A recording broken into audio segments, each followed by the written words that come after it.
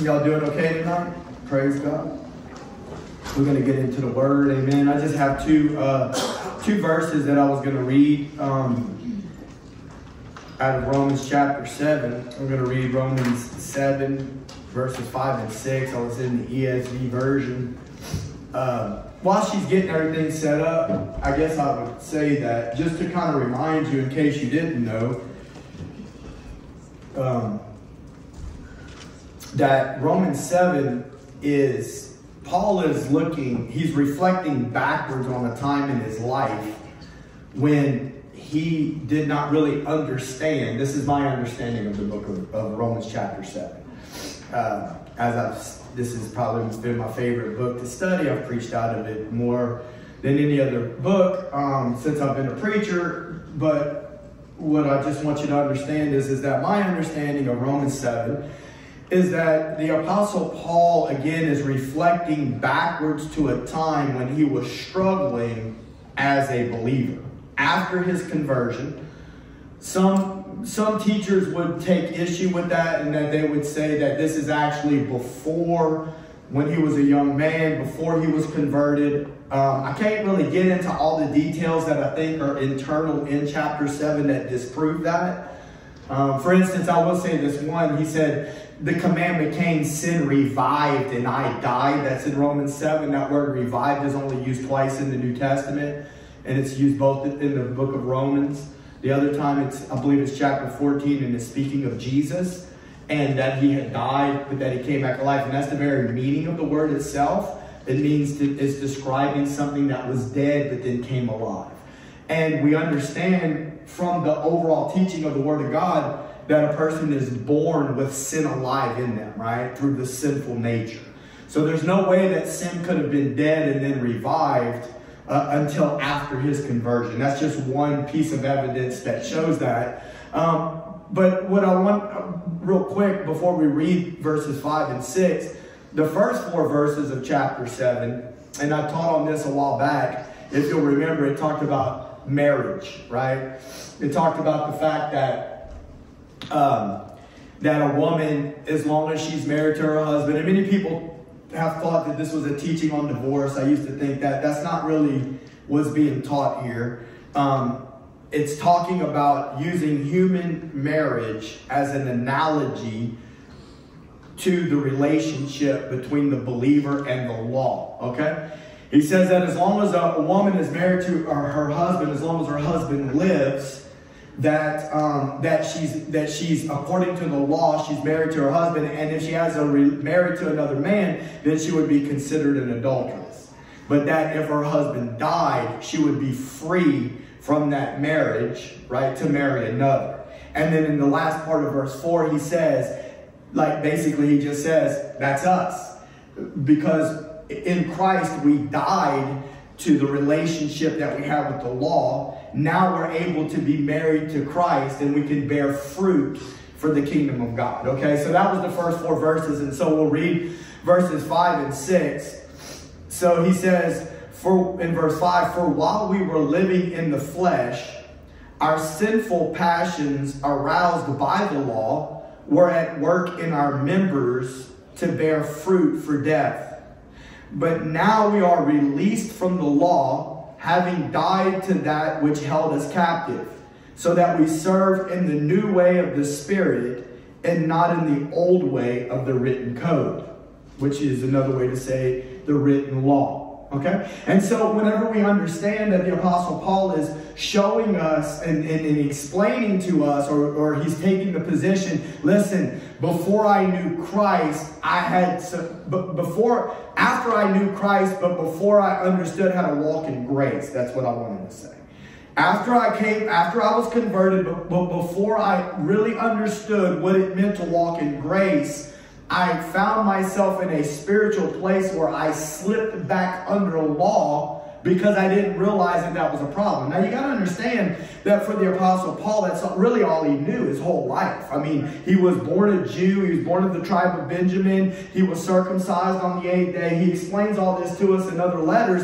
And, and so all he knew was the law. You and I really didn't know Jewish law till we got saved and we began to study some of the Old Testament. Uh, but but what he but that was all he knew. And so and without even realizing it many times this is this is one part of the law that i think i really want you to understand because i'll lose you with all this terminology if, if i don't make a point. That and, and we said it a while back. Look before we get into look go to galatians chapter 3 verse 10 I, and the last time i taught on this i used this verse but let's just go ahead and go there now. Galatians 3.10 and it says it says the righteous Isn't we there? I'm there, but. Okay, I might be. Uh, okay. You in the ESV? Yes. Okay. Well, I might, I might have missed a verse. Let's read it off here. for all who rely on works of the law are under a curse, for it is written, Cursed be everyone who does not abide by all things written in the book of the law. This is really what I wanted you to see the last phrase right here and do them. And so the law, again, was all about doing, right? It, about actions and about doing, whereas New Testament faith is all about believing. Yeah. Believing specifically that Christ has done what, what had to be done. That he, that he was born of the, of the flesh, meaning in his physical body, without sin, and that he was able to fulfill the law and that he was able to die in our place. And he took upon him the curse of the law. For the for the word the law says that cursed is everyone who hangs on the tree right? And so jesus became a curse for us. But what i wanted you to see here is that the main essence of the law is to do it right? And so, without us even realizing it, for you and I that are Gentiles, I think that it's important that I try to make a connection because we're not Jews like Paul was. But the essence of the law and the problem that we run into is that we start to look at performance. We start to look at the doing of Christianity. And we and without realizing it is that we put our faith in what we think we're supposed to do and we put our we put our, our trust in what we do instead of staying focused on what he did. Does that make sense? What I mean by that is this, is that, and I used to say this kind of stuff a lot, but now I want to be careful in the way that I say it you're never going to learn about Jesus unless you read the Word of God. You really can't learn the heart of the Father till you, till you introduce yourself to Jesus. And yes, the introduction is all about accepting Him into your heart. But until you get into the Word and you really learn His character and you understand His words and you start to listen to what He has to say, and the more you familiarize yourself with the words that He spoke, the more you start to really get an essence of what He really felt, what He really thought. You know, and, and then now when we see Him, because He's the express image of the Father, we are now gaining access to understanding the Father's heart. Does that, does that make sense? So you're never going to really know Jesus unless you get into the Word. I just got to tell you that. It's not going to, listen, there's nothing wrong with watching your favorite preachers on YouTube. I do it. I watch a lot of preachers. There, there's nothing, as long as you're not getting into something that's not good for you, there's nothing wrong with watching good preachers on YouTube. There's nothing wrong with reading commentaries. There's nothing wrong with listening to other men of God preach. Or there's nothing wrong with listening to you know, your pastor preach. All that's good.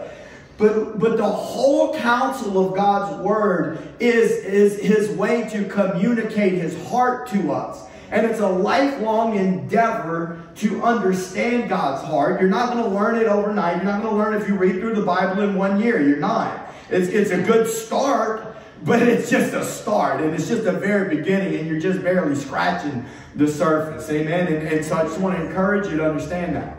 With that said, something weird can happen with reading the Word of God.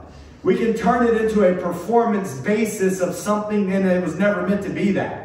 And we can turn that into what we think is our righteousness. Like, in other words, I don't feel like I'm right with God, and we look at what we don't do, and we think, man, I got to get back into the Word, right? You should be in the Word, but that's not what makes you righteous. Jesus makes you righteous. You've been clothed in his righteousness. When he died on the cross for you, he paid the penalty for you, and the exchange took place, and he gave you the gift of his righteousness, and he took your guilt upon him. Amen. Same thing with prayer. You get the point right? How do we really know the heart without the word and without true prayer and intimacy and spending time in the presence of the Lord? I'm just I'm just going to be real with you. I think it's very difficult that we can grab a hold of the Father's heart. I think it's very difficult that we can learn what his voice sounds like unless we spend time in, with him in his presence. Okay? And so as we do those things, we begin to hear his heart, we begin to hear his voice, we become more tuned in to when he's speaking. Amen. But we can do the same thing with prayer that we can do with reading the Bible. And we can do the same thing with coming to church that we do with that. We can do the same thing with getting into ministries and, and our gift that God has given us to give back. And all of those things are beautiful. And We can't really, we're supposed to be engaged in all of that. But if we're not careful, we'll take our eyes off of His performance in doing and we'll put them on our performance in doing. And that's what I'm trying to explain to you happened to the Apostle Paul. He said, I was alive once without the law, but then the commandment came. Now, I used to like the way Brother Larson used to say it a long, long time ago. He used to say, it doesn't tell us what the commandment was. It, it could have been, I, I, I, I realized that if, now I gave my life to Christ, but if I don't eat a pork chop, I'll be even more holy.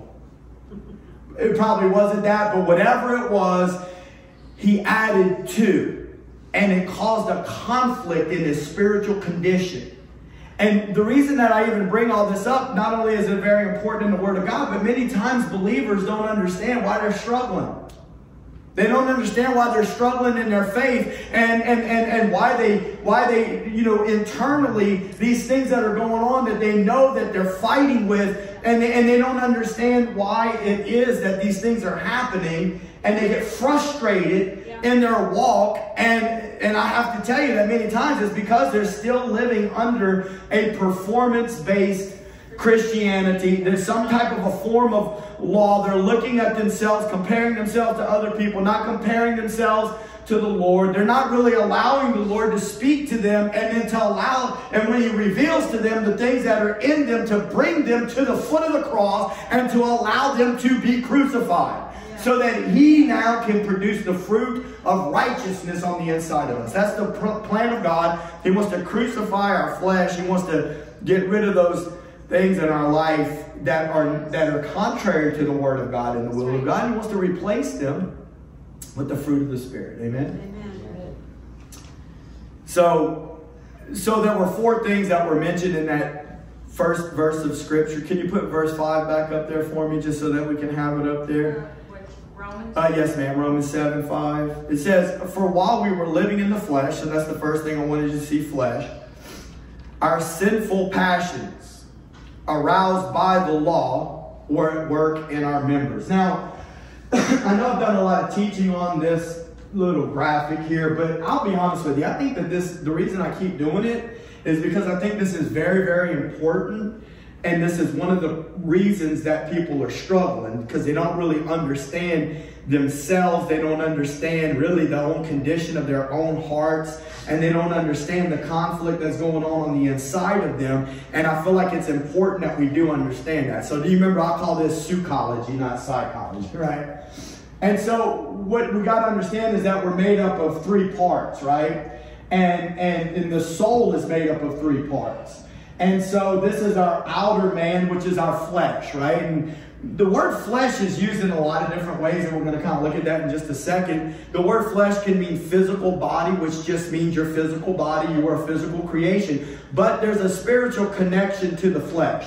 There's a, there, the, the word flesh is also used. Matter of fact, the NIV translators chose to use the word sinful nature in Galatians chapter 5 for the word flesh. Mm-hmm. It's not the word that's typically translated as sin. The word sin is typically hamartia, and the word flesh is sarx. But where sarx was in Galatians 5, the NIV translators chose to use the word sinful nature. Because, see, when we're talking about the flesh in a spiritual sense, there is also the tainting of the flesh with sin. And so what it's talking about is that it's not just an inanimate, and I've tried to have this conversation with, with people before, and I've even tried to say it to you guys before, but the flesh by itself is inanimate. In other words, it's not alive, right? There has to be spiritual life of some sort that causes it to move, right? And, and so if it's the Holy Spirit, amen, that's in us and he's moving us in the right direction, right? And it's other spirits that want to entice us to move in another direction. But our flesh, and, that, and that's one thing that I do want to say, this has kind of been on my heart too, because we have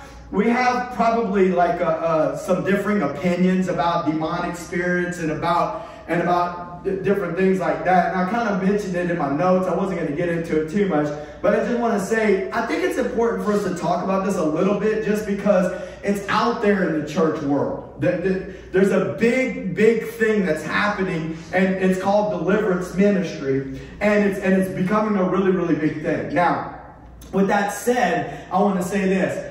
We may not completely agree. There may be somebody on this side of the room, you believe a certain thing about demon spirits and believers. Nobody has a problem with believing that demon spirits can affect unbelievers. I mean, that's really what we're seeing in the in the book of Acts. That's really what we're seeing in the gospel. Jesus is casting out devils in people that have not been saved. Okay, and in reality, there's there's not even really an instance in that I have found. I'm not trying to act like I'm the world's authority on this, but I'm just trying to make this point. Not even in the book of Acts, other than the Acts chapter 8, where Philip goes to Samaria and he does ministry, that I can see believers. You can talk about Jews all day long. Jews are not believers. Jews are not born again Christians. They don't have the Holy Spirit living on the inside of them. And, and it says that Philip preached the gospel, people were getting saved, and he was casting out devils. But it doesn't tell us he cast out devils after they got saved. So I'm just trying to say what the Word of God says. That's all I'm trying to do here.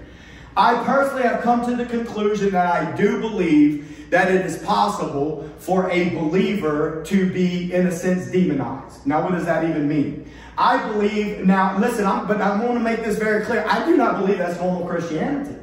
And I'm going to make a point here in a second. And I'm going to say this too. We got people that are sitting in churches all over the place that, that possibly were never even truly converted. Okay? And we're not of the persuasion in a house like this, at least I don't think, that we don't believe that it's not possible that a believer could lose their salvation. Now, we don't know when that happens. But, but I believe that it is possible for people to open up the door to sin and not even realize it, changing the object of their faith or whatever the case, and before you know it, they're not even really in the faith anymore. And they wouldn't have known they weren't in the faith because we know in the story when Jesus talks to them and he says, they, many will come to me and say, Lord, Lord, on that day. And I will say, I never knew you. Depart from me, you worker of iniquity. And, and, and somebody made the comment to me, yeah, but it says that he, the Lord said he never knew them. And I made this point the other day, but they sure thought they knew him.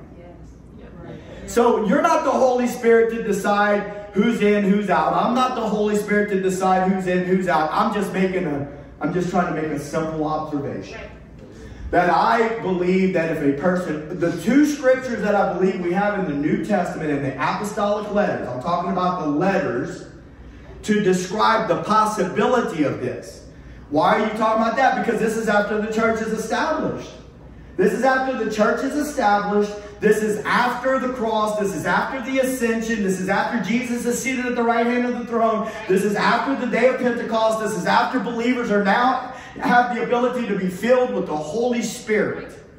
Okay, and the letters are being written to the church to explain to them what Christianity is supposed to look like. And now, I had a good conversation with somebody one time who said, well, they didn't believe, they believed that there wasn't a lot of talk about it because it was common knowledge and it was just happening. That's a good point to make. But at the same time, all of the apostolic letters are most of the time directly related to troubles in the church, and the apostles are correcting the troubles, and they're not talking about casting devils out of people, they're talking about flesh. They're talking about people's flesh that needs to be crucified. They're talking about how we need to die to self. They're talking about how we need to come to grips with the reality of the Word of God and that we need to do business with the Lord. Now, if a person refuses to do business with that, the scripture says don't open the door. Amen? Amen? Don't open the door. So when we do open the door, it says don't give place to the devil. So when we do open up doors and we get placed and we don't repent and we keep playing around with the devil, who knows what can happen? So I do believe that when it does happen, it's not in your spirit. I'm going to talk about that in a moment. That's impossible because, see, the Holy Spirit possesses your spirit. When you get saved, the Holy Spirit now, uh, He owns you. Amen. Because Jesus bought you. And that's a good, that's another thing that's important for you and I to understand. Jesus purchased us with His blood. So what I personally believe is that if a demon does demonize a Christian, it's in their, it's in their soulish part. Because, see, if a spirit wants to control a person's flesh and wants to make their members do something, it's going to tell their mind. I've already explained all these things to y'all before, but the more we talk about these things, the more we might be able to understand. And again, I'm not asking you to agree with me on this. I don't even look. I'm just telling you what I what, what I think. Okay, and this and, and you know, and I'm not going to get into it because I'm not really doing the teaching on that. But but what I do want you to know is this: is that the scripture says, and you can put 1 Corinthians 6 17 up there. We've talked about this scripture a lot, but it says it. Now, what he's saying is, in this particular passage of scripture, the context is actually where he says that, you, that a man can become one flesh with a harlot. And he goes on to say this he says that the body is not for fornication, the body is for the Lord, and the Lord is for the body. And you remember we've been preaching on that lately where it says, A body you have prepared for me. Part one was Jesus, part two was you and I. And so this is another re revelation about that where it says, the, the body's not for fornication, the body's for the Lord, and the Lord is for the body. The Lord is looking for a body that he can inhabit yes. to where he can do the work of the kingdom upon the earth. Amen. But what he's saying is this, is that he who is joined to the Lord becomes one spirit with him. And so, so whenever you do truly get born again, and Ephesians 1.13 teaches that the Spirit of God comes on the inside of you, that you become one in your spirit with the Holy Spirit. Amen. And there's other scriptures. John chapter 14 talks about that, that, you know, he, the Spirit of truth, He's been with you and he will be in you. Talking about after the cross, the Holy Spirit would come to live on the inside of people. Ephesians 1.13 teaches after you heard the preaching of the gospel and you believed that you received the down payment of, and you were sealed with the Holy Spirit of God. And so we're seeing that we've become one, one spirit with the Lord. And so this really, I would say, is where is where the new man in his perfection dwells, if, if that's okay. Like you're, you're perfectly saved in your spirit. The scripture even says that you already have the mind of Christ. Doesn't it say that? We, it says it. I think it's at the end of 1 Corinthians chapter 2. But we have the mind of Christ.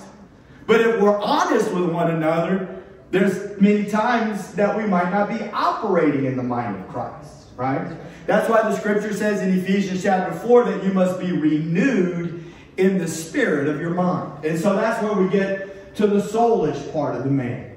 Because the soul, according to the definition in the Greek language, is that it's made up of the mind, what I think, the will, what I want, and the emotions, what I feel. And there's many times that what the human creature that is now born again, the new creation, what he's thinking is contrary to what the Word of God says. Many times, what he wants for his own life is contrary to the will of God for his life. Right? I mean, there's all kind of examples I could use as to something as simple as buying a new vehicle. Well, what are you saying, preacher? It's not God's will to buy. I don't know whether it's God's will for you to buy a new vehicle or not. That's between you and Jesus. But many times people have a desire to do something and they've already made up their mind that they're going to do it. And, and I had somebody, a pastor one time told me that, man, I felt like I felt convicted after I bought the car. And I said, well, you'll know whether for sure you missed him or not. You, you felt convicted, so you probably shouldn't have done it. But you'll know whether you missed him for sure later on, especially if you start having trouble with your finances. You know, because a lot of times people just make decisions to serve their own desires and their own will, their own wants, right? And then, it, then they start getting in their emotions. Solomon said they get in their feels. Because it, it starts affecting our emotions whenever the decisions that we make affect us negatively, we didn't ask the Lord. See, whereas if we get along with the Lord and we hear His voice on it and we know that that was His will when we make that decision, we might even make the decision knowing, you know what, this may have repercussions, but you know what, I got the heart of the Lord on this. And, and, I'm going to trust him through it. Amen. Does that, does that make sense? And that's what we're supposed to do as believers. Why? Because you're not your own. People don't like that kind of stuff. I mean, I know y'all are cool with it, but a lot of people don't like what you talking about. No, you were bought with a price. You do not belong to yourself. When you said yes to Jesus as Lord, whether you realized it or not, you said, I belong to you now. That's what the Bible says. Whether or not we've gotten into the Word of God and read that or not, that's that's on us. But I'm just trying to make a point. I'm, I'm telling, I've read it. And I know for a fact it says that. So I just want to go ahead and release that information out there to you. Newsflash. The scripture says that if you're born again, you're no longer your own. That's right. You've been bought with a price. Amen. The precious blood of the Lamb. Amen? All right. And so, so that's the soul. And then, and then here's the flesh. And I put this word down here, members because again, the members of the body parts. And so when we go back to the passage, it says that while we were living in the flesh. Now, I want to show you something. Can you go to 1 Corinthians chapter 3, verse 1 for me? It seems like the word flesh is being used by the Apostle Paul. That's important. I'm just telling you for Bible study purposes. When the same writer writes something similar in more than one spot, then it mean it really does mean something because see the Holy Spirit was using his heart and his mind and the information he had in there. It's not the same as automatic writing. I'm not getting into all that. The Holy Spirit used the heart and the mind of the man. So if Paul uses the same word flesh, but he kind of there's a little nuance to it, then we need to understand that that he uh, okay that he is trying to explain to us something here. So in Romans 7, I believe that he's talking about our life before Christ. He said, when we were in the flesh, okay, and then he, and then later he goes into, I was alive once, and so he's explaining, but when we were in the flesh, the sinful passions, right, that were being produced in our life and were operating in our members were bringing forth fruit to death. So he's saying before Christ, then our sinful, our sinful passions were alive and they were being acted out through our flesh in our members, right? Well, but look what he says right here. Now, this is the letter to the Corinthian church, and he's speaking to Christians. Because look, because I mean, look how he addresses them. He says, But I, brothers, he's calling them brothers, could not address you as spiritual people, but as people of the flesh and as infants in Christ. Same Greek word, Okay. As a matter of fact, I think it's verse 10. Can you go to Romans chapter 7, verse 10 real quick? I think it's 10. Uh, Romans 7, 10. No, that's not it. I'm going to have to look. But it's Romans 7. We'll find it real quick. It's the same word.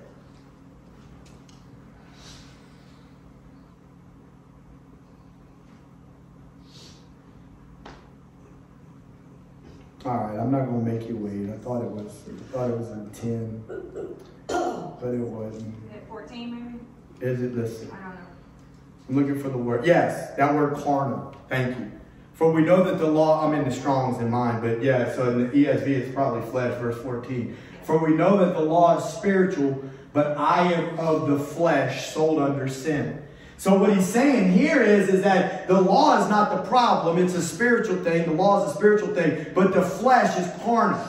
And, and, and again, in the Corinthian letter, what he said was that the flesh was, he was saying that it was a problem in the lives of believers, right? And, and the scripture says those that are the sons of God are those that are led by the Spirit and not the flesh. So a true son of God is not going to be led by his flesh. He's led by the Spirit of God. Amen. And the Spirit of God desires to lead us and to guide us, but there are the, there is the possibility that believers are instead of being led by the Spirit are still being led by their flesh, and they're still allowing themselves to do what they want instead of what God wants, and it's causing conflict in their spiritual walk, and, and it causes an upheaval and it causes frustration. And then the next thing you know, we begin to see the lusts of the flesh produced instead of the fruit of the Spirit. Right? The lust of the flesh are like a lot of things, but some of them are division and envy and jealousy and drunkenness and fornication, you know, all these kinds of things. Uh, anger, wrath, right? And, and it's not it's not godly anger. It's it's it's fleshly anger.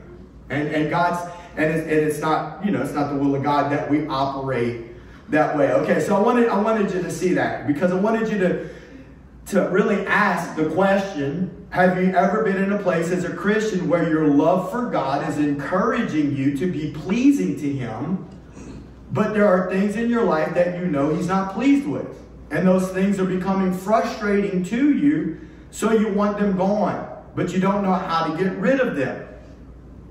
So again, in Romans 7, Paul is speaking to Christians who have not yet learned to walk in the Spirit and are attempting to live Christianity in their flesh. Now, I want to say this, and, and, and they're trying to they're trying to live a performance-based Christianity instead of a faith in Christ's performance that releases grace and a flow of the Holy Spirit. Yeah. See, sin is a spiritual problem that requires a spiritual solution. The spiritual solution to the problem of sin is the Holy Spirit. The Holy Spirit moves in the life and the heart of believers because of what Jesus did on the cross. Your faith in that allows you to be clothed in the righteousness of Jesus and allows the Holy Spirit to move on your behalf. He will begin to set you free of things that you could never set yourself free from. No Christian counselor is going to get rid of it. No medicine is going to get rid of it. I'm just, I'm not coming against Christian counselors. I'm not coming against medicine. I'm not even going to come against 12 step programs right now. I'm just trying to make a point. Ain't none of them things going to be able to set you free on the interior of who you are it's only Jesus, what he did, and it's the grace of the Holy Spirit, amen, moving in that situation. And listen, you got to fight the good fight of faith, brothers and sisters. You can't give up halfway through the journey and throw your now you can give up in your on yourself. That's what happened to me that night after that barroom experience. I woke up the next morning, I didn't even know this was gonna happen. It was like I said, Lord, I can't do it. You have to do it. And boom! I didn't even understand none of this stuff. Something shifted in the spirit realm, and it was like it was different. It was a surrender. It was a recognition that I could not do it. And listen, I want to tell you something. You can know all this stuff about the message of the cross. You can Romans 6, you can Romans 5, you can Romans 7, you can Romans 8. We know all these things. And we can quote these scriptures and we can we can be like a doctor of the law with the with the message of the cross and regurgitate it. But guess what? Just because we can regurgitate it, just because we know it here, doesn't mean that it's had its effect right here, my friend. And we're going to get into that in a little bit because, see, what the message of the, the truth of the gospel is supposed to do is to deal with us at the level of the heart. Amen. It's supposed to, it's supposed to deal with our heart. And again, this is the issue that so many of us, no, not just so many of us, all believe, all human beings have heart problems. You got a, we got a heart condition. Amen? Amen? And, and we need the Lord to do the work. And no, I don't care if you've been saved 25 years, 30 years. It doesn't matter. That is the problem. It's a heart condition. and, and look, sometimes we can't see it. Amen. Sometimes we can't see our own heart.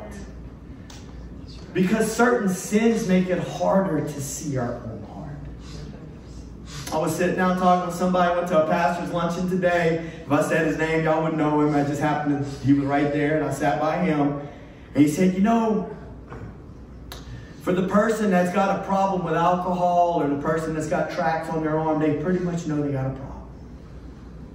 But for sometimes people with self righteousness and pride, that's what the Pharisees were infected by, my friend. And they sure enough thought they were right. And there was even times when they they realized maybe they weren't right, but they but, but they didn't have a heart change. I mean, Nicodemus, Joseph of Arimathea, hallelujah. what I'm trying to tell you is this, is that people that are the worst of sinners, that it's affecting their lives and wreaking havoc in their lives. Many times they know they have a problem, but it's the people that feel like they got some stuff together and they feel like they know some things and they don't even realize it, but they got a self-righteous religious spirit, a critical spirit, whatever, whatever. And the Lord knows I've been there. You can't, you don't even realize that you yourself have a heart problem.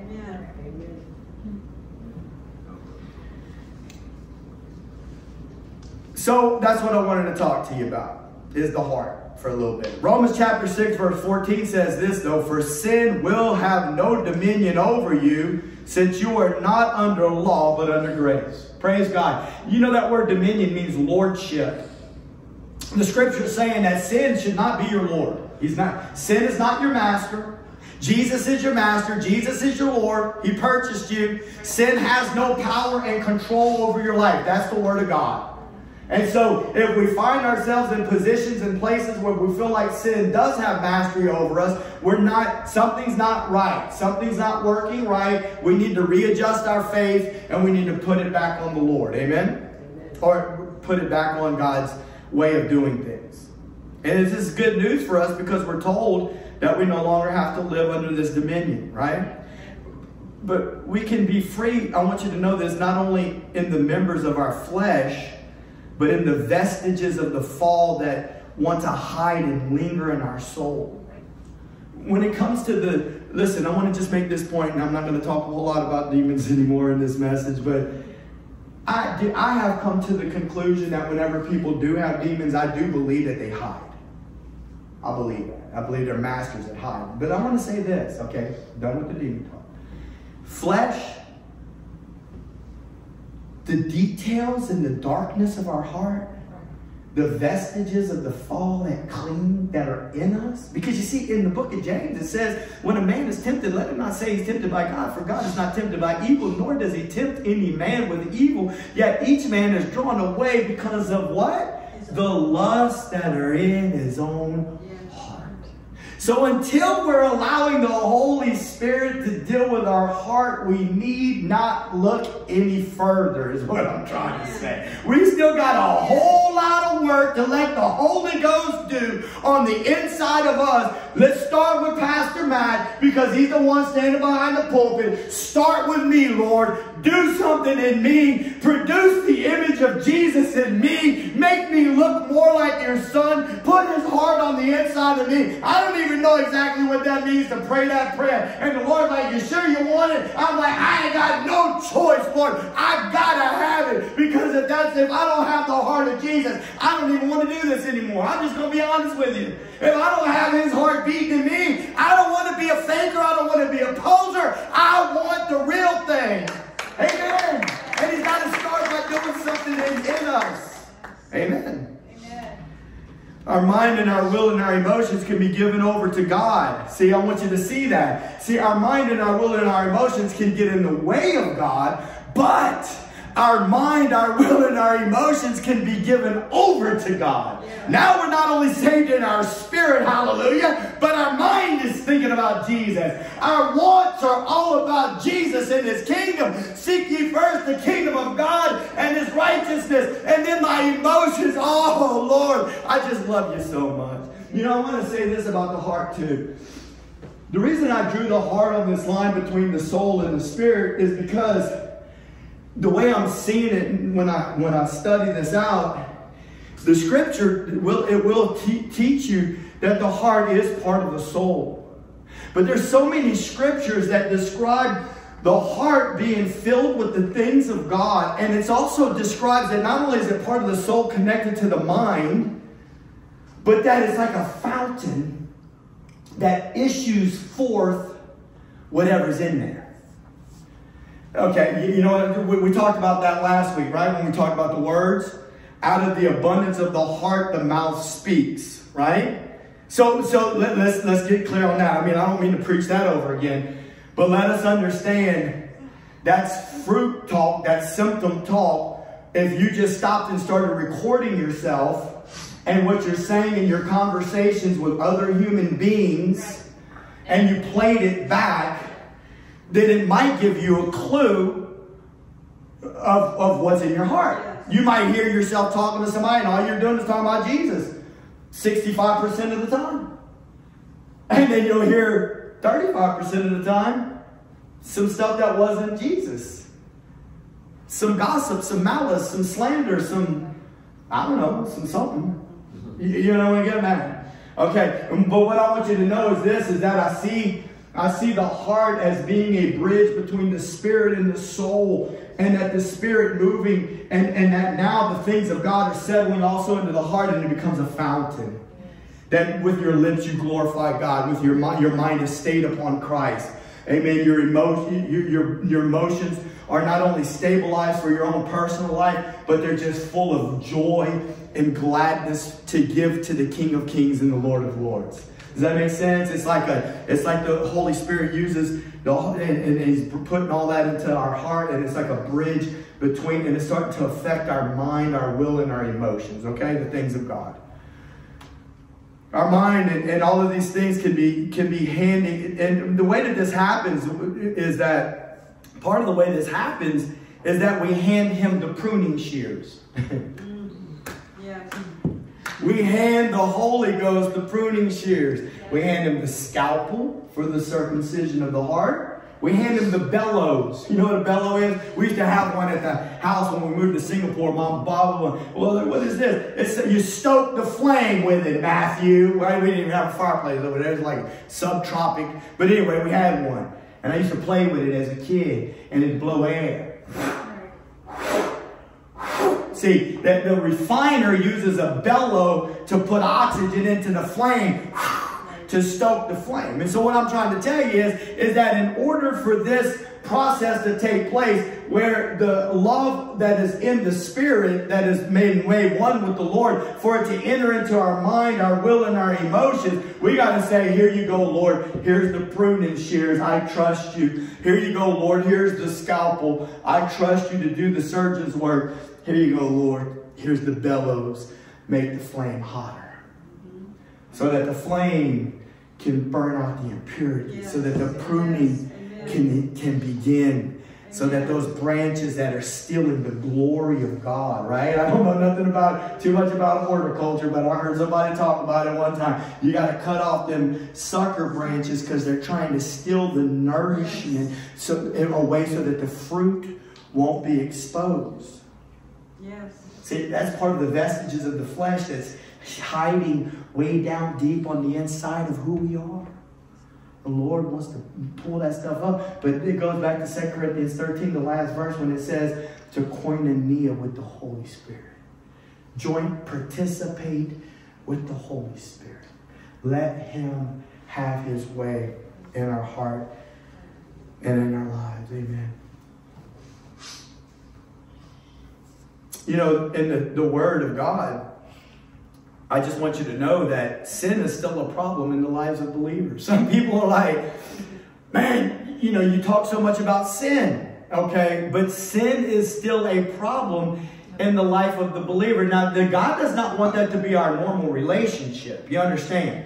It, it, he teaches us in Romans 6 that the relationship between the sinful nature and the believer has been severed. That's what the Word of God says. That did you not know that those of us who were baptized into Christ were baptized into his death, and even as he was raised from the dead, we too should walk in newness of life. So he's saying that we died in Christ and that a new creation has been resurrected. And so that's the truth of the word. But again, we can know something intellectually, but yet it hasn't happened yet in our heart. Amen. And so that's what we're trying to do. We're trying to go from point A to point B where we're allowing the Holy Spirit to have his way. And I'm trying to really explain these things to you because I believe that it's very important for our growth as Christians to where, because see, look, what did Paul say? How I travail until Christ be formed in you.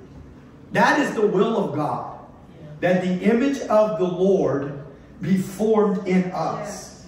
That we, that us, the old man, quits coming out and that Jesus starts coming out. Hallelujah. That's good. That's good preaching right there. Know, uh, I mean, somebody might have been able to articulate it better, but what I just told you was good. That, that, that, that the Lord desires to do that. And if we'll work with him and yield to him, He will, He'll do the work in us. Amen. And we're going to start looking more like Jesus. Amen. I, I know that's what you want. That's got that, that's listen, even if you don't think that's what you want, trust me, that's what you want. Amen. Amen. That's what you want. Because that's what you're going to hear. See, the more we look like the beloved, the better the chances that we're going to hear, well done, beloved. right? Amen. All right. I wanted to just show you a couple of things, and I wanted to say this too, that the word sin, it means simply to miss the mark. So what I do want you to know is that the, that, that the mark is Jesus. Amen? To miss or wander from the path of uprightness and honor, to do or go wrong. So it's to, it's to miss the mark that is Jesus. So that means that when you when you say something that Jesus wouldn't have said, you missed the mark. When you had a feeling in your heart, and we're about to get into this in a second, when you had a feeling in your heart that was different than what the Lord would have felt, you missed the mark. Okay? And, and, and a mature Christian, though, will begin to realize that before it issues out of his mouth or out of her mouth. You'll start to recognize how you feel in your spirit, in your inner man, and especially when you feel conflicted and frustrated. Look, I'm preaching to myself. When you when you hear some kind of news and then all of a sudden, you know, you feel the growling going on on the inside. That's supposed to, and what we're really supposed to do is get along with the Lord. Amen. And I don't know why, but there's something in me. Oftentimes, I want to call somebody. And I remember the, the, old song, Jesus on the main line, tell him what you want. Hallelujah. And, and he's really the one that we should be calling. So I'm preaching to the preacher. I'm, I'm, but I want to encourage all of you to know that's really what we need to do. We need to go to the Lord. All right. So let's take a look at Matthew chapter 15. And this is a long passage of scripture. So I'm just going to kind of start reading real quick and we'll see. We're not going to get much further than this. But we're talking about the heart. We've already talked about the fact that the Lord has died to set us free. Amen. He's made us a new creation. We have access to grace. So look what it says. Then the Pharisees and scribes came to Jesus from Jerusalem and said, Why do your disciples break the tradition of the elders? For they do not wash their hands when they eat. now look at Jesus, man. Y'all y'all can think what y'all want about our Lord, but look, look what he says. He answered them, and why do you break the commandment of God? Now, I don't know if his voice sounded like that or not, but I'm just trying to make a point. They said to him, why do your disciples do this? And he said, why do you do this? That's exactly what the scripture says. They said one thing, and he turned it around on them real quick. Hold on. Why are you, you want to know why they doing this? Let's ask you a question. Why do you do this? Right? Because he knew their heart. All right, so he says, Why do your disciples break the tradition of the elders? Okay, he said, verse 3, he answered them, Why do you break the commandment of God for the sake of your tradition? For God commanded, Honor your father and your mother, and whoever reviles father or mother must surely die. But you say, if anyone tells his father or his mother, what you have gained from me is given to God, he need not honor his father. So for the sake of your tradition, you have made void the word of God. You hypocrites. Well did Isaiah say of you when he said. Now this is serious. So what is Jesus really saying here?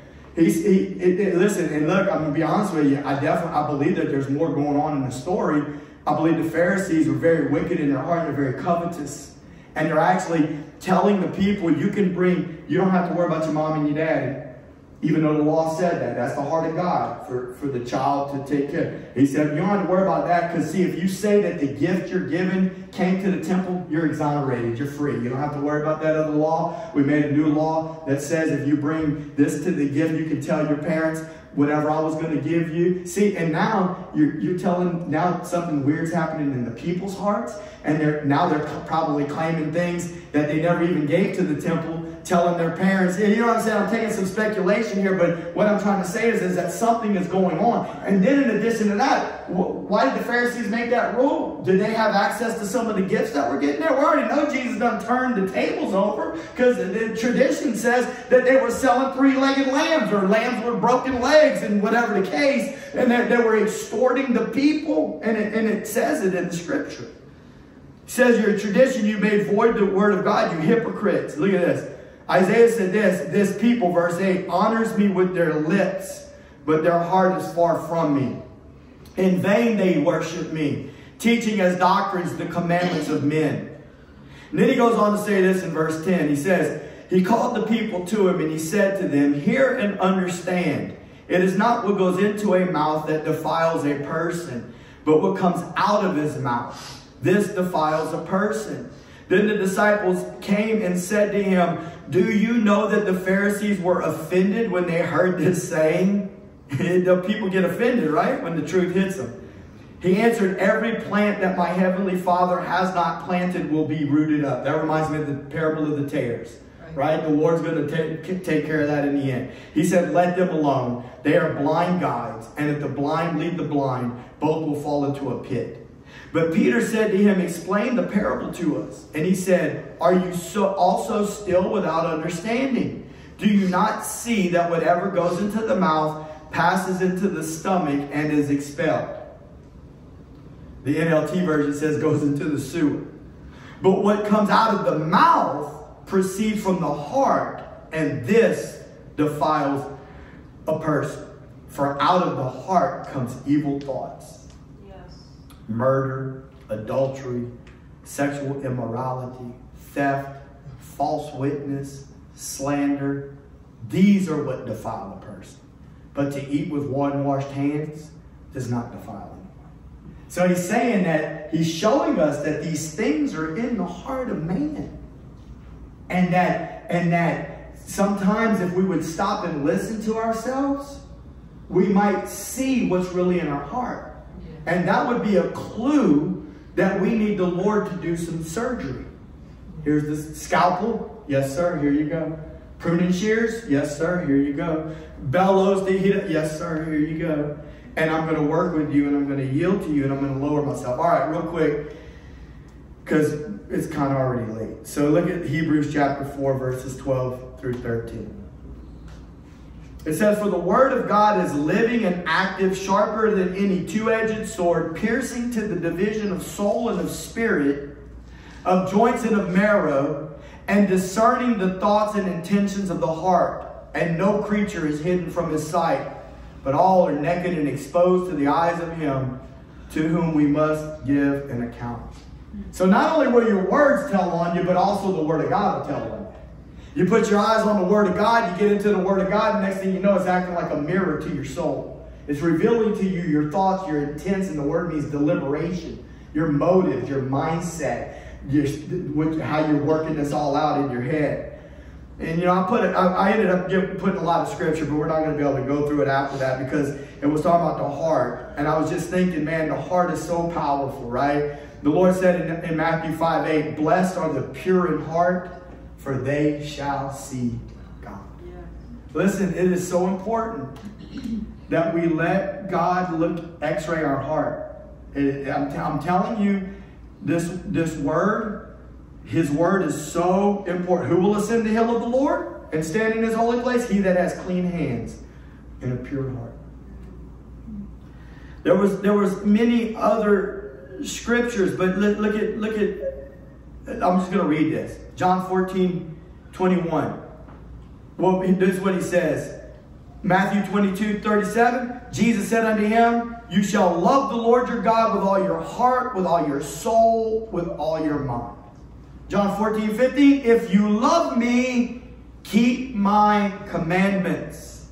John 14, 21, whoever has my commandments and keeps them, he it is who loves me. And he who loves me will be loved by my Father, and I will love him and manifest myself to him. What I'm trying to say is, is that something else the Lord's been putting on my heart for quite some time, and I said it in Bible study the other night. Somehow, some way, justification and fear of the Lord, reverence of the presence of the Lord, reverence for the Word of God needs to come together and get a good marriage going. This, look at this John 14 and 24. Whoever does not love me does not keep my words, and the word that you hear is not mine, but the Father's who sent me. I just got to share my heart with you guys and tell you that God has been sobering me so much regarding the Word of God and the fact that I feel like in my own life at times I have conveniently ignored what the Word is saying. And I feel like what the Holy Spirit is saying to me is that I am not the only one that has been guilty of this, and that He wants me to bring it to the attention of anyone that has ears and is willing to hear. People have died for this word. This word is written, and he is very, very serious about what he has written. And if we're walking around thinking that because we're justified, but yet the evidence with the word connected to our heart is not lining up, or the evidence of the words coming out of our mouth is not lining up, Houston, we have a problem, and we need to let the Lord deal with us because we don't. We want to let God deal with us on this side. I'm just being real with you. Oh, what you trying to say? I'm not saying I'm not the Holy Spirit. I'm not here to tell you who's saved tonight and who's not. If you have believed in your heart and confessed with your mouth the Lord Jesus Christ, if you've been sealed with the Holy Spirit, hallelujah. You're a child of God. I'm just trying to say we better line up with the Word of God. That's what I'm trying to say. I'm going I'm to close out with this. John, 4, John 12, 47 through 50. Look at this, man. If anyone hears my words and does not keep them, I do not judge him. I was thinking, man, that's what a lot of people in the church and in the world would. That's right. Don't judge me, preacher. Jesus ain't even going to judge me. Hold on a second. Slow down. Jesus is the judge. He is coming back on a white horse. He is coming back to judge. Okay, but this is what he's saying. Look what he says. I do not judge him, for I did not come to judge the world, but to save the world. The one who rejects me and does not receive my words has a judge. You know how we've looked at that in the past? We've looked at that like Jesus is saying, Oh, you rejected the fact that I said I was the Son of God and you didn't accept me as your Lord and Savior. Hold on a second. He said, No. Matter of fact, last week when we talked about words, he said, By your words you will be justified, and by your words you will be condemned. Out of the heart issues forth, out of the mouth comes forth the issues of the heart. So what, he, what he's trying to tell us there is this, is that if you're speaking something that's contrary to this, you really need to take a look at yourself and make sure that you're really justified. Because if, because, because if it's not lining up, something may, is, it may not be right. I mean, I'm just trying to say his word is serious. Does everybody agree with that? Hallelujah. His word is serious. All right. He says, the one who rejects me does not receive my words has a judge. Oh, man, this is... The word that I have spoken will judge him on the last day. For I have not spoken on my own authority, but the Father who sent me has himself given me a commandment. What to say what to speak, and I know that his commandment is eternal life. What I say, therefore, I say as the Father has told me. We're just going to pray to the Lord real quick. Father, we just give you glory and honor. We thank you, we praise you, we exalt you. Holy Spirit, Lord, we thank you for your word. Your word is truth. Lord, let your word settle into our hearts tonight, oh Lord. Give us a newfound love for your word. Let it speak to us. Let it do its work of conviction. Holy Spirit, we joint participate with you and we give you the pruning shears and the scalpel. We give you the bellows. We ask you, Lord, as painful as it may be, we need you on this side of before we cross over that spiritual Jordan, Lord, we need you to deal with our hearts now, Lord. Lord, we desire to live for you. We've given our heart to you. You purchased us with your blood. We understand that we're not our own. We understand that we belong to you, Lord. And we want, we want to be pleasing to you. We understand that the only way that that can happen is if we're crucified and Christ is formed in us. Holy Spirit, form Jesus in us. He is the express image of you, your holiness. Form him in us, O oh Lord. Make us more aware of the words we speak. Give us a newfound hunger and a love and a desire for your word. Lord, and that when we read it, listen to it, however we can put it in us, that, Lord, it would speak to us and it would bring conviction, a healthy conviction. Lord, to help justification and the fear of God. Because that's one of the scriptures I was going to read. 1 Peter 1.18, during your sojourning here on earth, walk it out with fear, knowing that you were not redeemed with corruptible things, but the precious blood of the Lamb.